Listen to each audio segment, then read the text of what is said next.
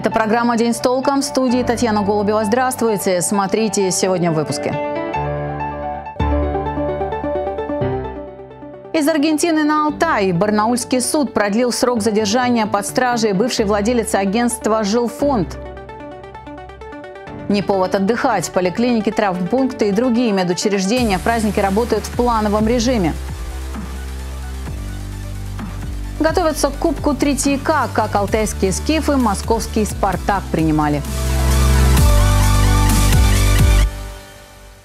В Барнаул доставили экстрадированную из Аргентины Людмилу Авдюхину. В январе этого года ее задержали сотрудники Интерпола. Женщину обвиняют в мошенничестве в особо крупном размере. Напомним, Авдюхина являлась директором жилфонда. По версии следствия, у клиентов фирмы, которые намеревались приобрести недвижимость, обвиняемая брала на хранение крупные суммы для дальнейшей их передачи продавцам. Также получала деньги от граждан под предлогом дальнейших выгодных инвестиций.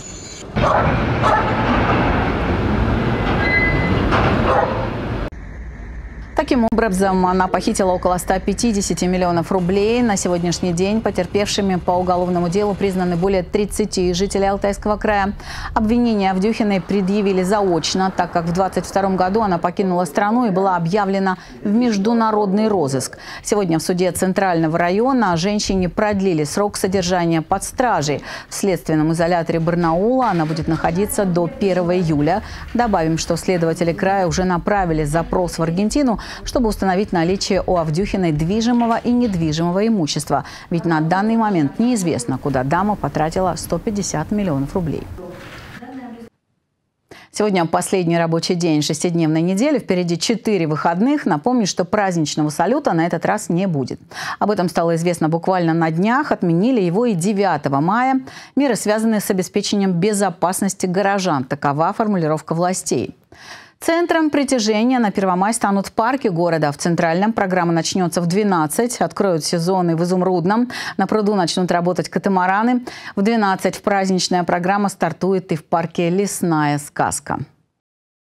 Большая часть горожан планирует провести выходные на природе, на дачах. Напоминаю, что с сегодняшнего дня в крае введен особый противопожарный режим. Жечь траву и разводить костры в лесах запрещено. Нарушителей ждут штрафы для граждан до 20 тысяч рублей, для юридических лиц до 800 тысяч. Праздники не повод отдыхать для медработников. В случае необходимости жители края смогут получить медицинскую помощь. В круглосуточном режиме будут работать стационары, травмпункты, а также бригады экстренной помощи. Все дни на рабочем месте также дежурные врачи. Будут работать колл-центры и службы неотложной помощи. Об этом журналистам сообщил сегодня министр здравоохранения региона. Подробности у Юлии Щепиной. По традиции в праздники люди активно обращаются за медицинской помощью, поэтому стационары, травмпункты и бригады экстренной помощи будут работать круглосуточно. На связи также колл-центры в поликлиниках на приеме дежурные врачи. 30 получается апреля и 11 мая работают женские консультации в части консультативного приема и патронажа беременных. А, здесь важен этот аспект. Все дни работают у нас службы и это актуально, э, особенно медэкспертиза в части освидетельствования, э, проведения патоанатомических исследований э, и выдачи. А вот узкие специалисты и консультативно-диагностические поликлиники при краевых учреждениях, которые оказывают плановый прием, принимать пациентов не будут. Между тем, в крае продолжают разрабатывать проекты по повышению качества оказания медицинской помощи населению. Как сообщил министр, благодаря проекту «Новые подходы в оказании медпомощи» организациями третьего уровня, а это специализированная и высокотехнологическая медицинская помощь, время ожидания приема для пациентов сокращается в три раза. Сейчас в краевой клинической больнице этот пилот используют два специалиста учреждения. Эти же подходы они будут транслированы для всех учреждений третьего уровня. То есть минимизация времени, минимизация объема обследования, которые были бы достаточно для специалиста. Это и а, разумные сроки приема с заключением, с разными формами. Телемедицинская консультация, очный прием, а, консультация врач-врач, консультация врач-пациент. течение полугода по такому принципу будут работать все специалисты краевой клинической. Значительный шаг вперед здравоохранение края сделает после внедрения в работу искусственного интеллекта, уверен министр. Пока нововведения начали использовать в диагностическом центре. В прошлом году мы приобрели э, продукт искусственный интеллект по расшифровке флюорограмм и рентгенограмм. А в этом году мы расширяем, и в этом году еще три продукта будем приобретать. Это расшифровка компьютерных томограмм, это э, диагностика злокачественных новообразований на коже, в первую очередь э, меланома, и э, это маммограммы. Министр подчеркнул, что реализация всех проектов должна прежде всего способствовать повышению доступности и качества медицинской помощи жителям Алтайского края. Юлия Щепина, Дмитрий Денисов. День с толком. Почти 350 жителей края стали жертвами клещей за неделю, а всего за сезон в поликлинике обратилось 525 человек. Если сравнивать тот же период прошлого года, укусов стало больше, почти вдвое, сообщают в Роспотребнадзоре. У девяти жителей региона уже выявили сибирский клещевой тиф. У одного пациента подозрение на энцефалит, что еще раз доказывает то, что снимать кровопийцу самостоятельно опасно. Клеща необходимо сдать на анализ. Кстати, именно в Барнауле обнаружены места, которые больше богаты на клещей. Быть бдительными необходимо на аллее на проспекте Космонавтов, в районе лесополосы на Солнечной Поляне, в юбилейном на горной части города. Также стоит остерегаться членистоногих на Южном, во Власе Пасехи, Лебяжьем, в Черницком и в научном городке. Водитель, лишенный прав, насмерть сбил пешехода в районе Зато-Сибирский. Трагедия произошла сегодня рано утром. Мужчина ехал со стороны Бийска. Водитель 63-го года рождения, управляя автомобилем «Лада Гранта», допустил наезд на пешехода, который пересекал проезжую часть в неустановленном месте. Пешеход, мужчина, 2001 года рождения, от полученных травм скончался на месте происшествия до приезда скорой медицинской помощи. Погибшему парню было 23 года. В полиции уже назначили проверку, устанавливаются все обстоятельства аварии. На этих выходных в Алтайском крае официально открывается туристический сезон по традиции с цветения моральника. А это значит, что нагрузка на Чуйский тракт возрастет в два раза. Так, за сутки по трассе проезжает 20 тысяч машин. Чтобы предотвратить аварийные ситуации, дорожники продолжают расширять дорогу и напоминать водителям о правилах дорожной безопасности. Подробнее расскажет Ирина Корчагина. Я юный инспектор дорожного движения. Берегите себя и жизнь других. Это вам. Огромное. Спасибо Огромное спасибо. Вся семья пристегнута, ребенок в детском кресле. Но даже таким порядочным водителям будет не лишним напомнить о правилах дорожной безопасности. В подарок светоотражающие жилеты, памятные сувениры и буклеты. Их раздает детский дорожный патруль из Новоалтайска. В подобных акциях, которые организовывают сотрудники УПРДОР Алтай и госавтоинспекции, юные инспекторы участвуют постоянно что соблюдали правила дорожного движения, чтобы они понимали, что мы это не зря все делаем, что мы вот так заморачиваемся со всеми. Когда смотришь, заходишь утром, ты видишь всегда, то есть, например, я захожу и вижу там, случилось ДТП, случилось ДТП. Это очень страшно. Лихачат взрослые действительно часто. Почти 100% аварий на Чуйском происходит из-за нарушения ПДД. В основном это выезд на встречку, превышение скорости и ДТП на перекрестках. Самое напряженное время и для дорожников, и для сотрудников ГИБДД – туристический сезон, который обычно открывается цветением моральника. Туристический сезон э, интенсивность составляет э, более 20 тысяч автомобилей в сутки по Чуйскому тракту. А среднегодовая э, порядка 10 тысяч. То есть туристический сезон интенсивность увеличивается вдвое. Соответственно, и вероятность совершения ДТП увеличивается вдвое. Поэтому летний сезон туристический, как правило, да, всегда под особым вниманием со стороны как дорожников, так и госавтоинспекции. На дорогах Алтайского края ежесуточно для несения службы обеспечения безопасности дорожного движения э, заступает в среднем 129 э, нарядов дорожно-патрульной службы. Сегодня дорожники продолжают работать над безопасностью Чуйского тракта. Установка светофорных объектов, линии электроосвещения. Одной из наиболее эффективных мер остается расширение трассы до четырех полос. За последние два года в регионе расширили несколько участков протяженностью в 43 километра. На сегодняшний день продолжаются работы на 33 километрах. Э, в текущем году будет введено 17 километров автомобильных дорог. Напомним, протяженность дороги Р-256 Чуйский тракт в Алтайском крае 304 километра. Из них 123 километра уже разделены на 4 полосы. К 2026 году это будет уже 156 километров, то есть 51% от всей трассы. Достигнуть глобальной цели – расширить Чуйский до четырех полос полностью – в Алтайском крае планируют к 2035 году. Ирина Корчагина, Алексей Фризин. День с толком. Ущерб на полмиллиона рублей нанес лесному хозяйству 58-летний житель села Первомайское Алтайского края. Мужчина спилил 10 сосен в лесном массиве, находящемся в 15 километрах от поселка Восточный. На гражданина завели уголовное дело по факту незаконной рубки лесных насаждений в особо крупном размере, сообщает ГУ МВД России по Алтайскому краю. При том, что житель региона признал вину, сейчас ему грозит до 7 лет тюрьмы. Возвращаясь к предстоящим праздникам, 1 мая в России отмечают праздник весны труда. В этом году трудящиеся будут отдыхать целых 4 дня. С 28 апреля по 1 мая.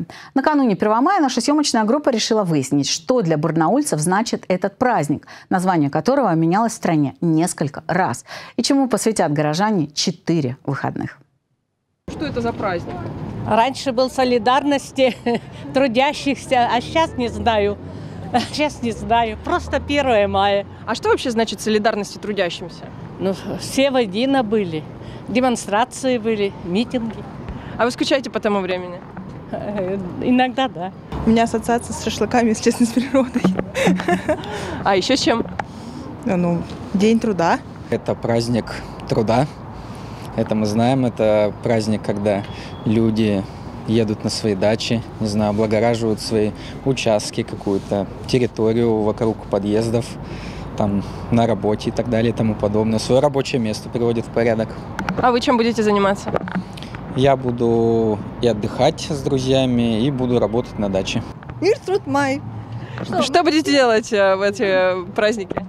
Убираться дома. У меня частный дом, поэтому э, намечается глобальная глобальная уборка листвы, всего подряд, подготовка к лесу. А знаете, чем в советское время занимались в этот праздник? Ну, субботниками в основном. А еще? Ну, различные же были акции с этими плакатами, все, как сказать, э, санкционированные митинги такие хорошие.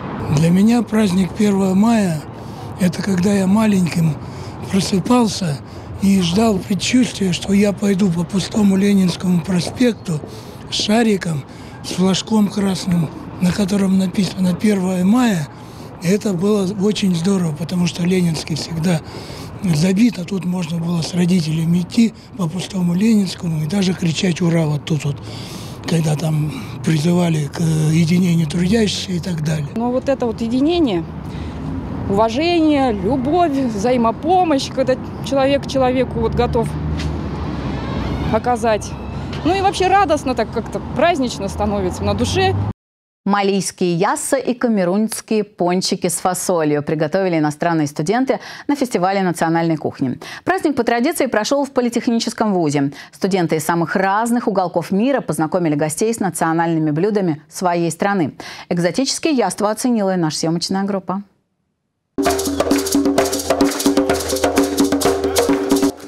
Под колоритную музыку национальный обед. Помимо традиционного таджикского плова, гости фестиваля попробовали экзотические кулинарные шедевры. Малийские яса, вуджула, камерунские пончики с фасолью, афганский плов, острые крылышки по-китайски. Это один из самых национальных традиционных блюд весенних. Ну, когда будет наступать весна, у нас всегда долма. Ассаламу алейкум и всем привет. Это одно из наших национальных блюд плюс считается, э, которое нашим домом придет гости. Мы без слова не отпускаем. А иностранные студенты, в свою очередь, оценивали русскую кухню. Пробовали блины и вареный картофель. Во время фестиваля национальных блюд гостей развлекали и творческими номерами.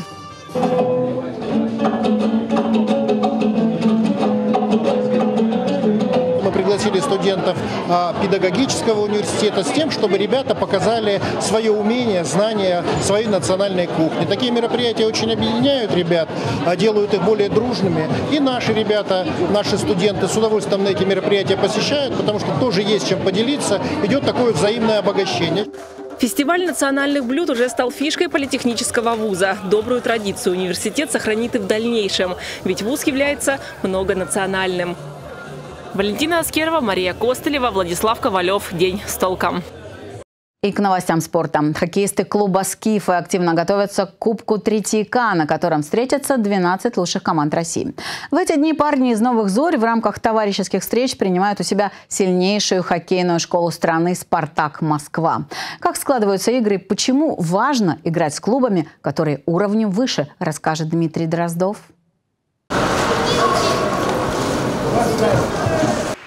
Игры товарищеские, но борьба серьезная. В эти дни в поселке Новые Зори гостит одна из лучших хоккейных школ России – московский «Спартак». Ребята приехали к Скифам, чтобы сыграть три контрольных встречи. Ведь совсем скоро нашей команде предстоит участвовать в турнире на Кубок Третьяка, где соберутся 12 сильнейших команд России. И спарринг с топовым клубом пойдет только на пользу.